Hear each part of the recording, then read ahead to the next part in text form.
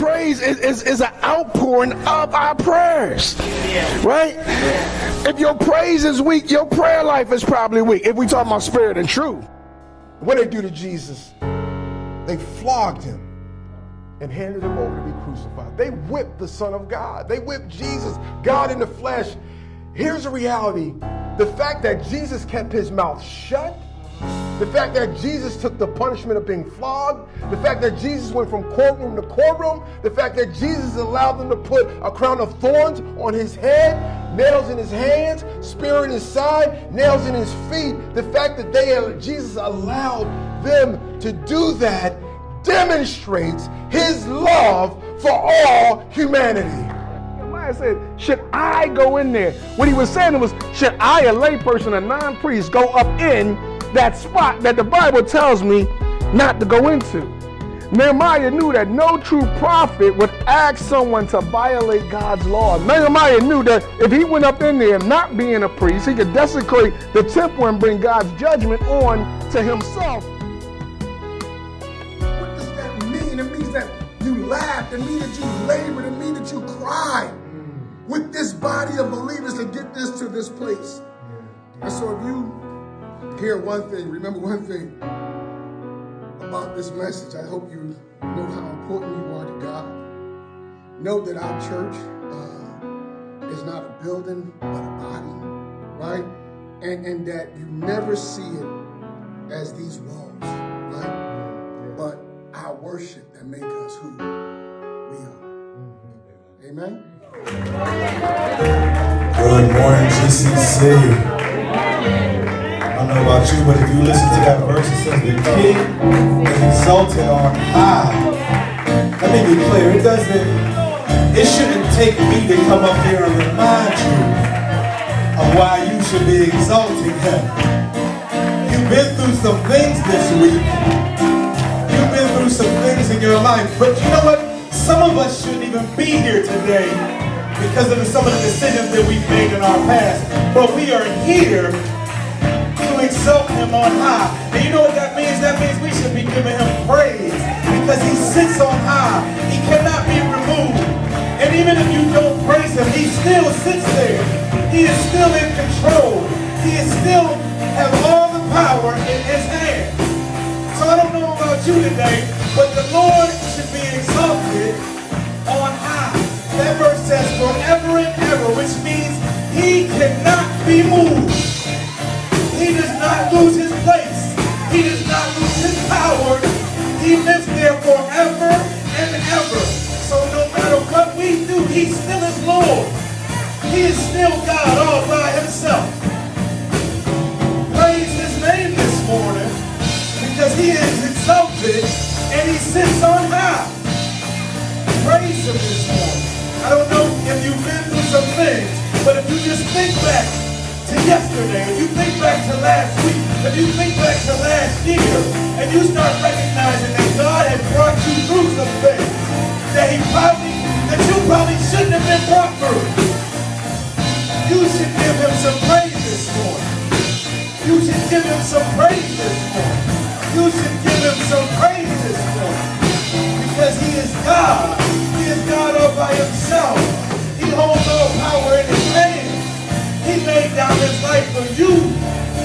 You can have the opportunity to rise up again one day. Hallelujah. Hallelujah. Hallelujah. He is exalted. He is on high. He sees all that you're going through. He recognizes all of your situations. He's there when you don't even think he's there. It's us that's not paying attention. All he wants you to do is exalt him. All he wants you to do is exalt him. And he can turn your situation around. Just give him praise. Give him praise.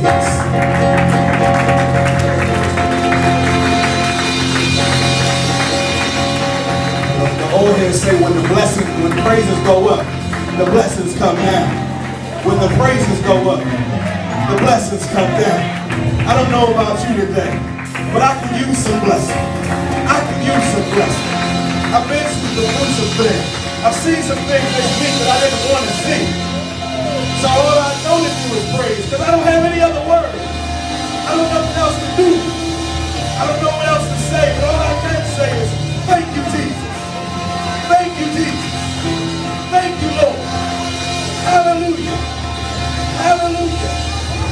Hallelujah. The praises go up, the blessings come down. Amen. Let's pray. Let's pray. Dear Lord, I just thank you. I thank you for being in control. I thank you for being the Lord of this world. Even though everybody doesn't recognize it, you still are. You still are. I pray right now, dear Lord, that as we enter your presence, that we do it humbly, with open hearts and open minds and open ears, dear Lord. I pray that we hear a word from you today, dear Lord. I pray that we hear a life-changing word, dear Lord. I pray that we don't leave here the same way we came in today, dear Lord. Allow us to be willing servants of your word. I just pray all these things in Jesus'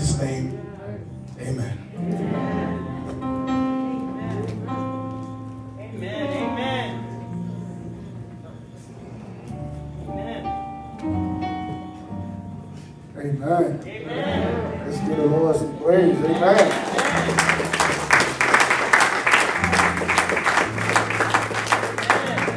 So we want thank our, our worship team this morning. Thank you.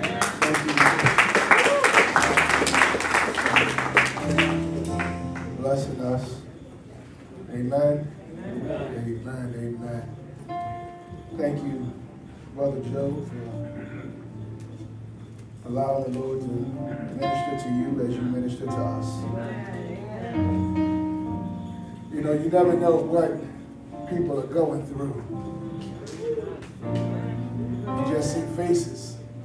Sometimes you see half a smile. You don't know what's going on in people's hearts and people's minds and people's lives. So before you jump to a conclusion. Thinking somebody looked mean or somebody half spoke. Remember, just like when you're going through, sometimes others are just going through. Yeah. Don't talk about them, don't criticize them, just pray for them. Yes. Yes. We all need some prayer. Amen. We all need a, a hand and a touch from our God Amen. to remind us that He still got it. Yes. To remind us that He's still in control. Spite of whatever we might be going through, He's still God. Amen. All right. Father, we thank you for your faithfulness. Thank you, Lord God, for this new mercy you allow us to see. Lord, we ask that your word would just fall afresh today. Use me, O Lord, as your mouthpiece, as an extension of your, your grace, Lord God.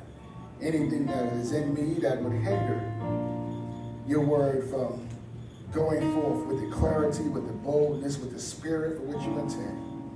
I pray that you hide it, restrain it, Lord God, so that your word can go forth and you can be glorified. Your people can be edified. The enemy can be horrified. In Jesus' name. Amen. Amen. Amen. This morning, we are back in the book of Matthew, walking through the Sermon on the Mount. This morning, specifically, find ourselves in chapter 5. We'll be looking at verses 17 uh, to 20, looking at how Jesus fulfills the law. And as we get back into this, this sermon, uh, Jesus kind of takes this break for uh, station identification kind of thing to, to communicate that he is, what he is teaching and what he is communicating, um, it, it- it is something that is, is not going against the Old Testament. You know, he's giving them the Beatitudes. He's challenging them to be the, the salt of the, of the earth and the light of the, the world. Uh, and he's highlighting the spiritual heart that was meant to be developed from the law, right? And so he starts off by saying, don't think that I came to abolish the law or the prophets. I did not come to abolish, but to fulfill.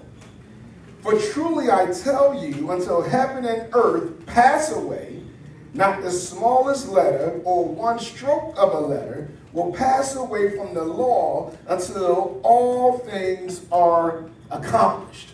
And so, so Jesus clearly is communicating that I'm not here to abolish the law and the prophets, which is the way they refer to the Old Testament, right?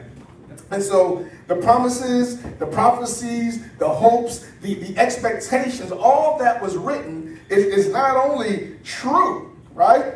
And, and, and all the word that you have, have referenced uh, is, is being fulfilled in Jesus' life. And so Jesus is telling them as the incarnate word of God that this is what word becoming flesh actually looks like. Amen? And, and so, so Jesus has to explain, right, the, the difference between his teaching, or, or I won't say the difference, the relationship between his teaching, if you will, and the Old Testament scriptures. Because some of us ignore the Old Testament. It, it was amazing. I know when I when I got saved and I seen people handing out just the New Testament. I'm like, why are you giving out half a Bible? you know, uh, when, when I got saved, I said, where should I start? My man said, start at Genesis. Open the book. And, and, and so I started at Genesis. So then when I seen people giving out New Testaments, I was like, why, why would you give somebody half of a Bible?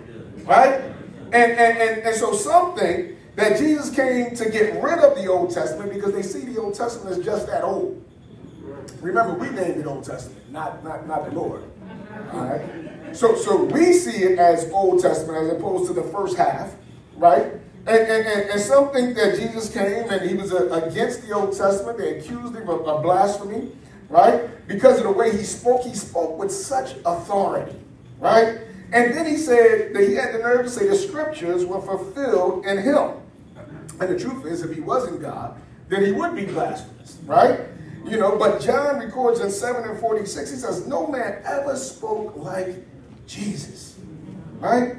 But Jesus, if, if he did not believe the, the Old Testament, he would not say, not only did he not come to abolish the law, he said, but not the smallest uh, a, a, letter or, or stroke of a letter, also known, I used to, I grew up on the King James, so we called it the jot and tittle.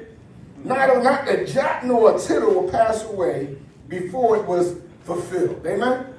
And, and so how we view the Bible is important. How we view it, if we discount half this book, that's, that's an issue, right? Because some of us look at it, and, and I've had a conversation recently, amen. Some of us look at the Old Testament as being irrelevant, right? And, and therefore, they walk through the Old Testament kind of picking and choosing, right, what they want to believe. Mm-hmm. I'm, I'm, to do that means you're a heretic. That's the wrong approach to, to the Word of God, right? Because he clearly says, I came to fulfill it. I didn't come to abolish it, and not the smallest letter, the smallest stroke. He said, not the dot over the I or the cross of the T should be removed. So, so, so what do we do with that, right? What, how do we how do we handle that? You want to know why so many churches and cults, for that matter, read the Word of God wrong? Hmm? And, and, or, or, it's that what we call uh, the hermeneutic, or, or, or the key that they use to interpret the Bible, right? How do I how do I read that, right? And so don't be scared of hermeneutic. Hermeneutic simply refers to the interpretative measure that you use, okay? And, and so how they approach that, how we approach uh, our understanding of the Old Testament, right, is, important. So if you try to read the Old Testament apart from Jesus, you'll never find your way to Christ, right? And, and if you say, I'm a New Testament, I heard people, I'm a New Testament church. So you only read the New Testament and you ignore the Old Testament, you only got half a picture, right? And, and if you don't accept who Jesus said he is, then you're totally wrong you won't get any of it, all right?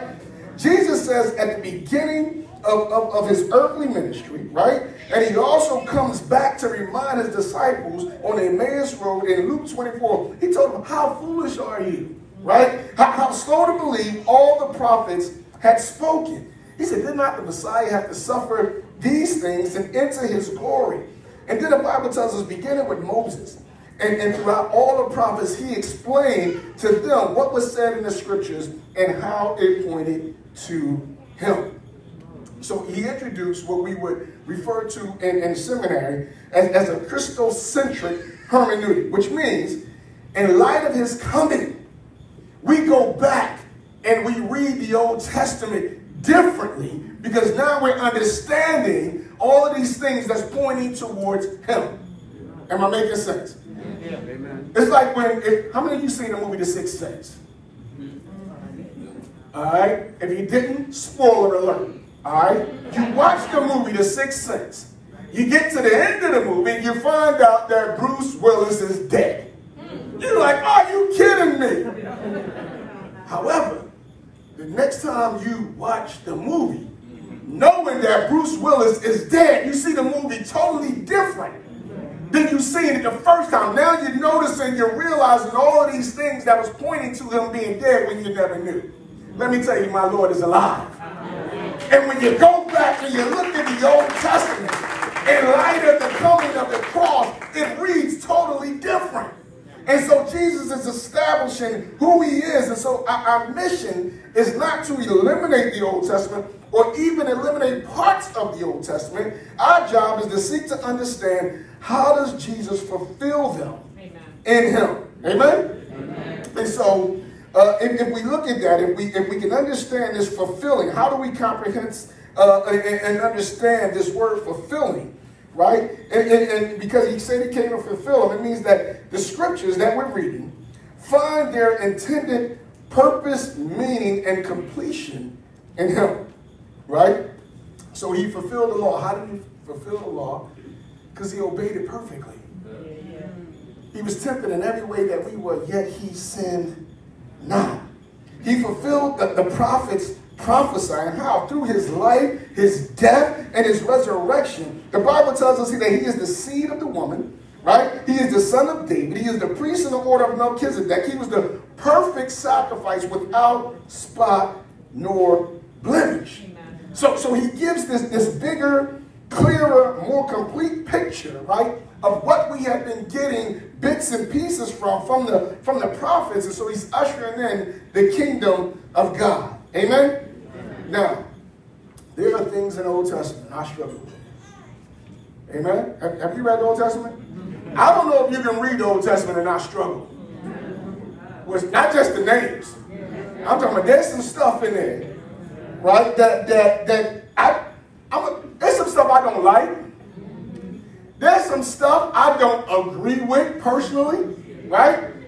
But I'm humble enough to know that I can't even dream about fully comprehending the mind of my God, right? And he comes and he declares their validity, right? And it's like when Paul was when Isaiah, when he said, Who has known the mind of the Lord and who has instructed him? So yeah, I, it don't all make sense to me. I don't all agree with it, but man, if I'm going to walk around and think that I know better than God, I was having a conversation, I'm not going to call out who. And uh, someone asked me, they said, well, what do we do with passages like when the Bible says you need to stone somebody? Somebody say, me a rock. what do you do with passages that say we're supposed to stone somebody when, when they sin? And, I, and, and I'm, I'm explaining that you got to recognize, right? That this was the capital punishment. This is the way they did it in that day. The people were there to, to judge the sin and carry, carry out this stoning, right? But, but if you find your fulfillment in Jesus, we understand that he paid the price for sin. And we who confess our sin, he declared us innocent of that sin. And the guilty don't go unpunished. We're just not the authorities no more. We're not the ones who carry out the sentence anymore. They don't go unpunished, right? They be judged. They're judged by God. Their punishment is not by stoning as a physical death, but as eternal damnation of a spiritual death.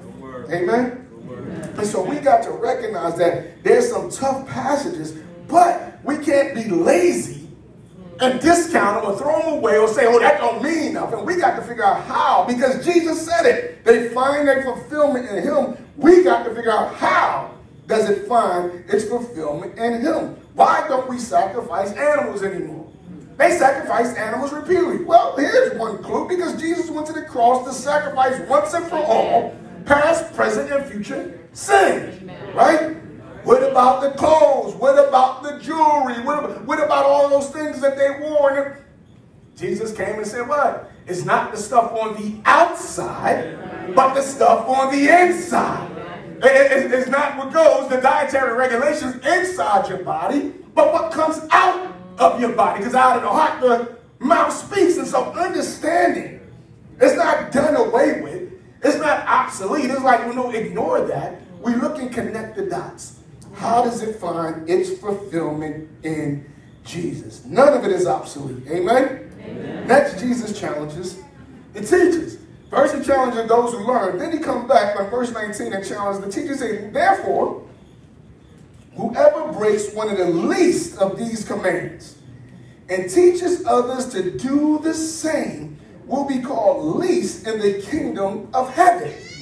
But whoever does and, and teaches these commands will be called great in the kingdom of heaven. Right? And, and so now he's talking about the teachers and what they teach. And how they teach is an issue. And the judgment for their teaching is also an issue. This is why James said in chapter 3 not many of us should presume to be teachers. He said, because do know that you will be judged more strictly. Right? It might look easy to get up here. I don't know. You know, I, I, I wrestle. I, this is not easy for me at all. Let, let, let me be clear. I struggle every week. Can I be honest with you? Every week. I wrestle with the script. This, this message is not done until I preach it. Understand? Like there's never a done point. Kim asked me, you, you finished the word? I'm like, oh, you know, you know, word don't get finished. Word ain't finished till it's said. So, so every day I'm working on it. Every night I'm working on it. And every Sunday I get up, 5, 6 o'clock in the morning in prayer and go back and work on it some more. I done printed it, I done scratched it, I done did a whole bunch of things. Why? Because there's something very serious about getting up and handling the word of God, right? And, and, and, and it's not just the, the, the prep work. I'm not talking about that. I'm talking about the magnitude of the moment of handling God's word. Speaking on behalf of God. That's a scary thing to do. Let, let me tell you. And, and well, let, let me be clear. It's scary for those of us who reverence the Lord. Because some get up, they love it. I, I get up with fear and trepidation. I, I sweat. Some get up, and I ain't talking about sweating by, by shout. I'm talking about sweating because it's fear and trepidation as you're trying to communicate this word. Some get up, and they can do it with ease because they preach an agenda that's all their own. When you leave, they want you to talk about how good they did. They, they want you to be reminded everything is done to, to, to woe you, to show you, to, to make you glorify them versus God. And so if you get up there on your, your own behalf, you don't have the same fear. Oh, I'll do it. Give me a shot. Give me.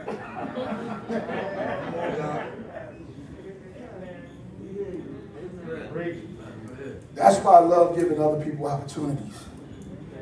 So, so they can experience the weightiness.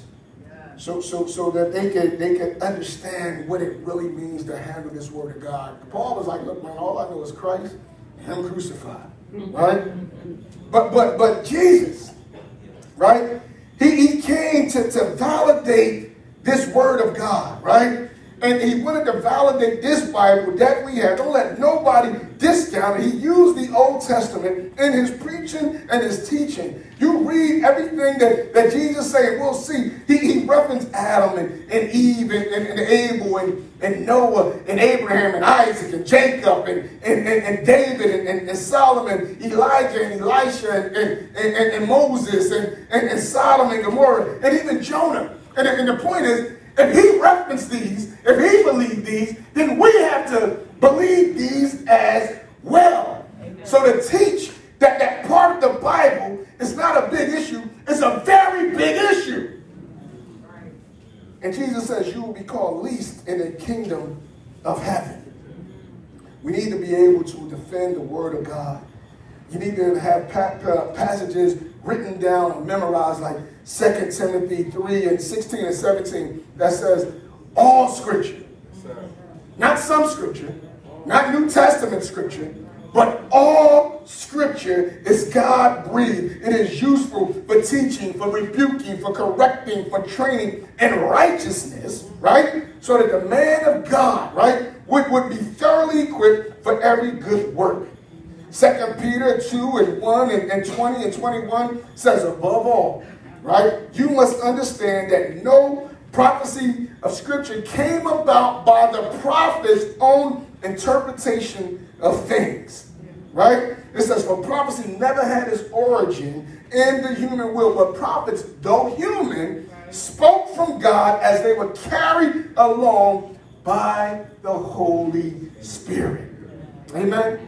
And, and, and, and, Jesus says himself in John 15 and 10, he said, if you keep my commands, you will remain in my love, just as I have kept my Father's command and remain in his love, right? And so we are told directly from the God of man that that that that the word of God should not be taken lightly by, by the people of God. Amen? Amen. You know, it's interesting.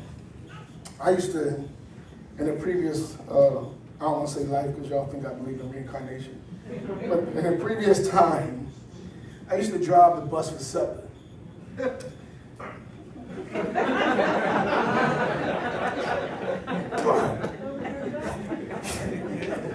and, and I, I, was young and I was I was very impatient and I had a very heavy foot, right? And and, and I had this two-seater, you know, top out, Batmobile I used to drive all the time. I used to get out of my two-seater sports car and get into the bus. Problem was I treated the bus like a two-seater sports car.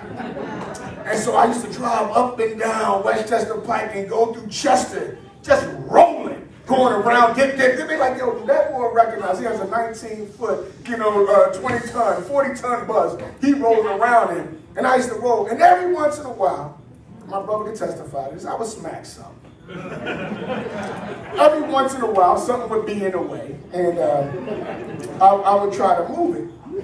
And they call me in, Mr. Anderson, you can't just move vehicles out your way with the bus. Uh, you, you done had a few of these. And we think you should move to the trolleys.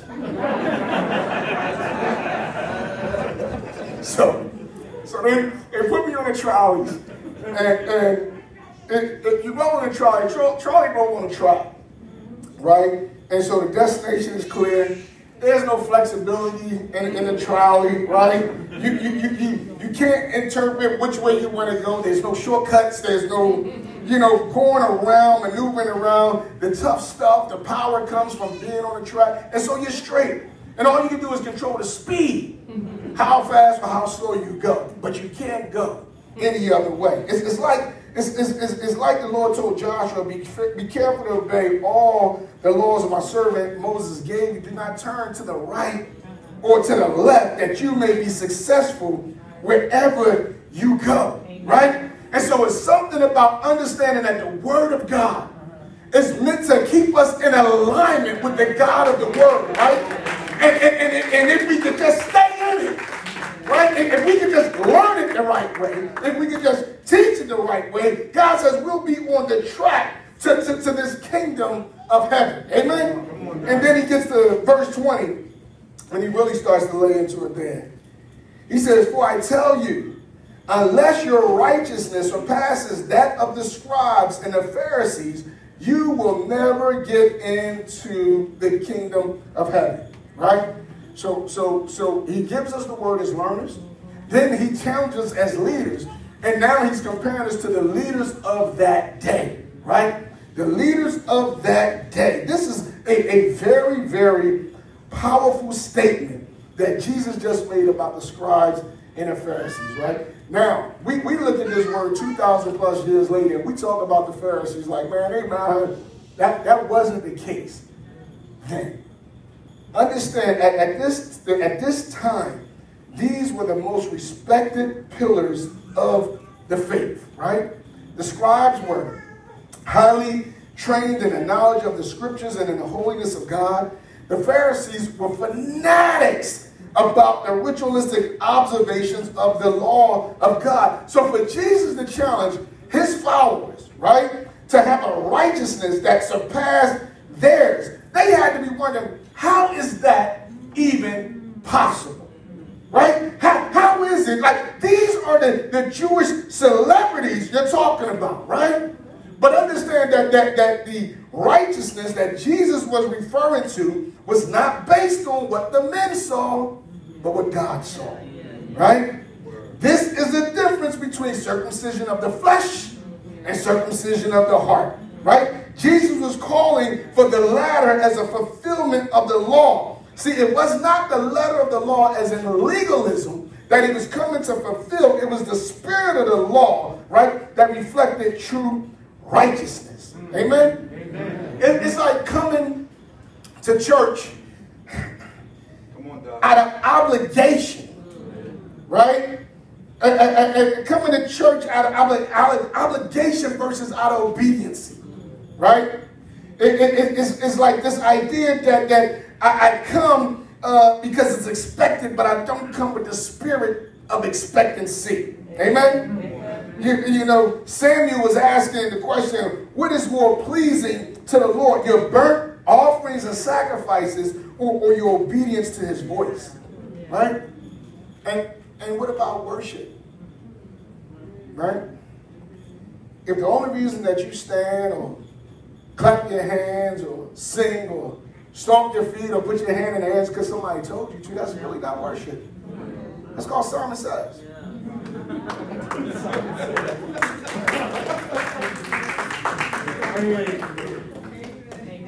See, see, our worship should be joyful. It should be authentic. It should be a response to the, presence, the, the, the presence and the power and the awe of our God, right? That, that, that's why Jesus called these letters out, these, these leaders out in, in, Matthew 23 says, Woe to you teachers of the law, woe to you, to you Pharisees, you, you hypocrites. You clean the, the outside of the cup and the dish, but right, the inside they, they are full of greed and, and self-indulgence. He said, You blind Pharisees, first clean the inside. Then the outside would also be clean. So, so the point is, being perceived as good is not good enough. Amen. You hear me? Yes. Good don't get you in, God does. Amen. That, that's why we, we, we say it's, it's not your, your, your, your, about your, your good works outweighing your bad works. Because even our good works is like filthy rags. And, and no matter we like it or not, let, let me say this parenthetically. It, it's better to hear somebody say now that your behavior, your attitude is not like the Lord than to hear the Lord say later, depart from me because I never knew you.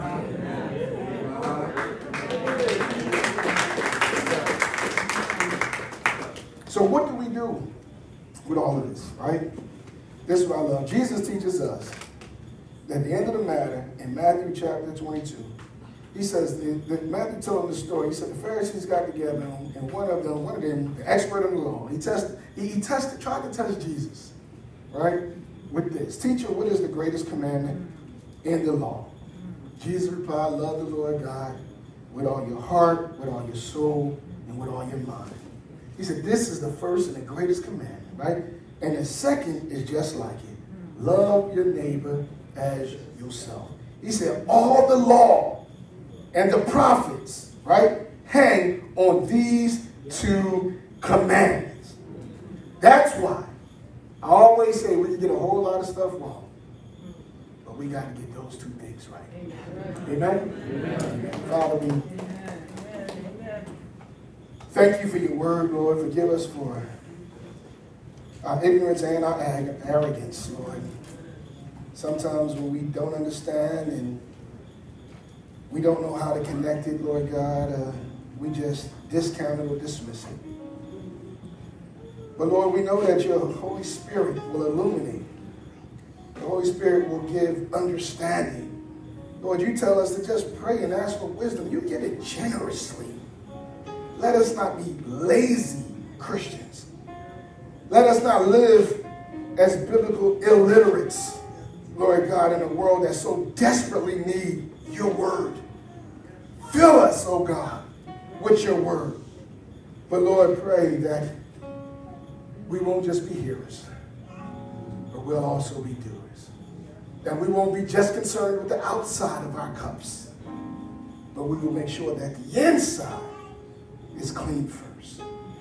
Let us remember to continue to seek ye first your kingdom, your righteousness, trust everything else will be given unto us for your glory and your story. In Jesus' name, amen.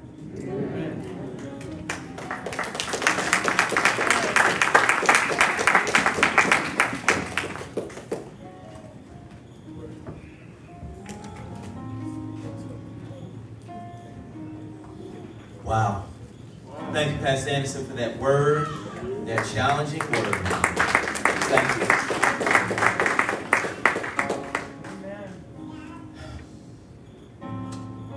You know, God calls us to lean on Him. Um, he's not the one who's lost, we are. People walk around talking about they found God. No, God found you. And found you before you were born, before you were formed in the womb. And so if you are here and you want to know this Jesus, this Jesus that's been calling you since before you were formed in the womb, this Jesus who has a purpose for you, this Jesus who is inviting you, I ask all the believers to just bow your heads and just pray. Just pray as, as Jesus calls to you. As Jesus invites you to become part of his family, part of his body, part of his church. As Jesus invites you, he's inviting you, he's calling you. He's calling out to you this Jesus that Pastor Anderson preached about. This Jesus that says to us, clean out the inside first. And I'm here to help you. I'm here with the spick and span. I'm here with the Holy Spirit to help you clean out your inside. To clean out your spirit, to clean out all of those things that other people don't know about, but God does.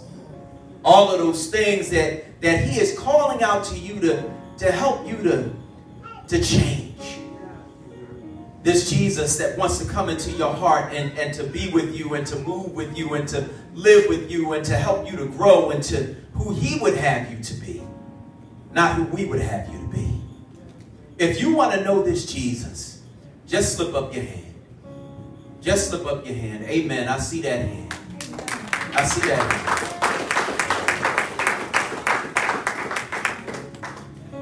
And if you're online and if you want to know this Jesus, I would ask that you would just pray this prayer with me.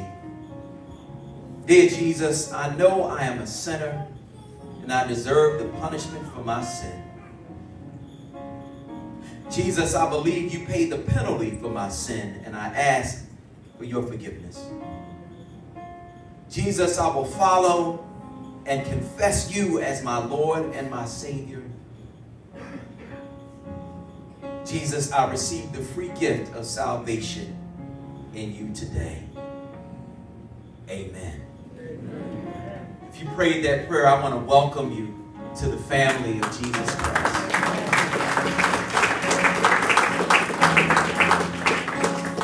It's the best decision we've ever made. He forgives us even when we walk away from him because he doesn't walk away from us.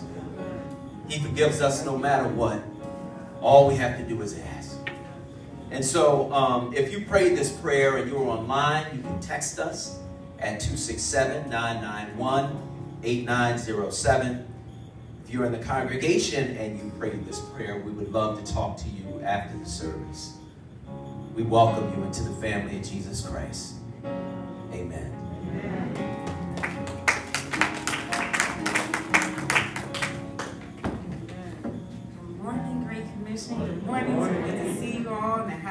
those online. Hope you were blessed. Thank you, Pastor Anderson, for that word. Go over the announcements really quick. So GCC and guests, get ready for our annual church barbecue. That's going to be at Albuquerque Park on Sunday, September 5th at 10 a.m. As the word will go forth and fellowship, tickets are $10, $5 um, for children and $25 for a household, those living with you. But GCC is a family, and so we invite our guests to be free. So if you have any guests that you would like to invite to our annual barbecue, we welcome you to see uh, either myself or Sister Gloria. She's raising her hand after church. Deadline is August 22nd as we prepare for this event. I want to continue to thank those that have been able to tithe as we continue to do the work of the Lord. Um, we have a tithe.ly app. If you'd like to tithe that way, you can go onto our website. There's a drop down box, or you can just mail in your tithes if you're, if you're not coming to the building. Also, we continue with morning prayer. That's each and every Wednesday at 7 a.m. and 7 p.m. as we lift those prayers up, the body of Christ, um, keeping those in prayer, keeping those that are grieving, people that are in ill, have any illnesses or any sicknesses or hospitalizations. Please, um, we lift those prayers up and you can give those um, to your deacon and deaconess. And please know that they'll be prayed for. We have a Gone Too Soon ministry that meets the first and third week of a Thursday of every month from 6.30 to 8. We have facilitator, facilitators available in informal setting. Sister Margie is raising her hand. If you are going through anything, please see her and um, you can meet. Again, we hope you were blessed by today's service. And we just want to invite you, if you love God, or even if you don't know what it's like to love God, know that we love God here at Great Commission Church. The Word of God is going forth each and every Sunday. And we just welcome you. We're a family here. And we ask you to text guest, and it's at 267 991 8907. It's just that easy. We love you and have a blessed week.